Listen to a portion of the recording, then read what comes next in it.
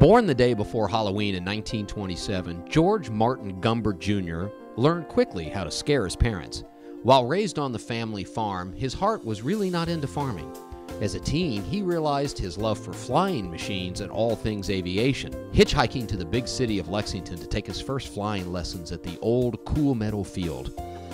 When this adventure was subsequently discovered by his mortified parents, his aspirations of flying came to a sudden, if only temporary, stop.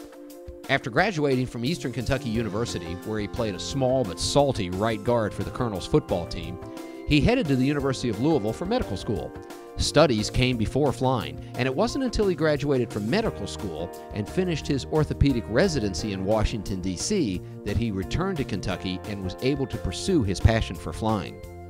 Lest we get the landing before the approach, let us backtrack to George's college days at Eastern, where he met one Eva Madden, pretty co ed two years his junior.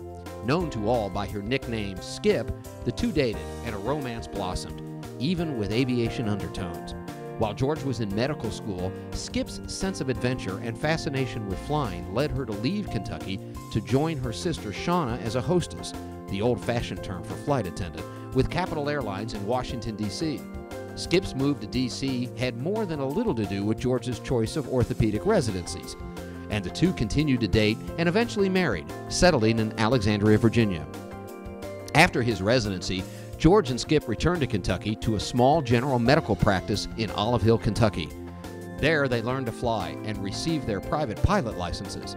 After their brief stint in Olive Hill, George accepted an offer to join one of the first orthopedic practices in Lexington. Orthopedics kept George busy during the day, but the couple headed straight for Bluegrass Field once work was over and continued to own several small planes over the coming years, what became the family truckster, a twin engine, four place Beech Travel Air, 8 4 Romeo. Those carefree days at Bluegrass Field fostered a close friendship that would have a lasting impact on our aviation museum. George and Skip met a soft spoken line boy, Wendell Murphy, who pumped aviation gas and had acquired exactly one used car to rent to pilots when they came to Lexington. Wendell and his wife Betty would go on to found a still thriving Avis car rental franchise as well as Murphy Surf Air Trucking Company, and perhaps most importantly, to be a co founder of the museum where you sit tonight. George's passion for flying became intertwined with his medical profession in several ways. He became a member of a fledgling national group, the Flying Physicians, whose purposes included furtherance of flying and humanitarian medical missions. George eventually became the group's national president. Another mix of flying and medicine occurred when George was named team physician of the Kentucky Wildcats football team back in the 1960s. Besides flying to all the away games, George also flew coaches on recruiting trips at his own expense. This was before the days of fractional interest Lear jets owned by big boosters, and the coaches were happy to climb in George's four place 8 4 Romeo and head to see their next recruit. George's recruitment taxi spread to other sports, and he developed an all round sports medicine practice, operating on the likes of Sam Bowie, Derrick Ramsey, Sonny Collins, and other UK athletes. The origins of the Aviation Museum were modest at best.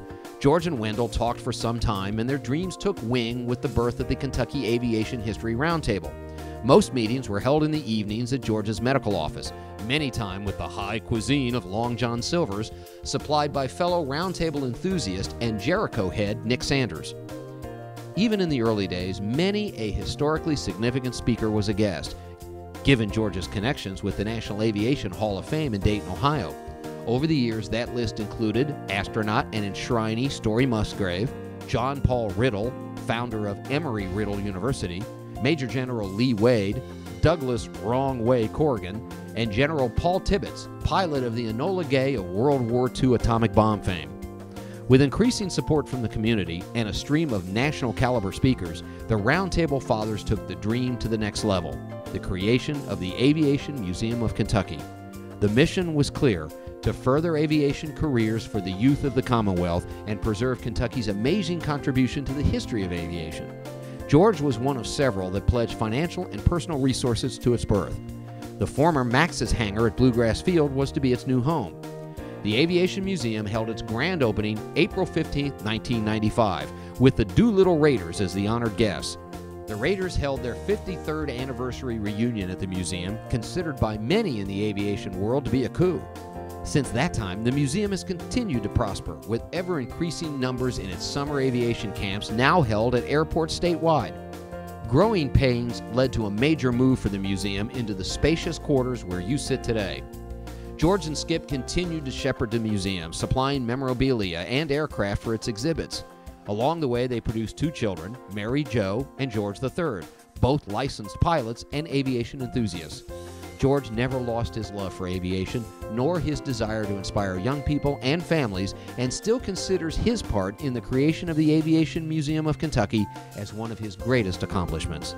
It is therefore fitting that George Martin Gumbert Jr. be enshrined into the official Aviation Hall of Fame of the Commonwealth of Kentucky.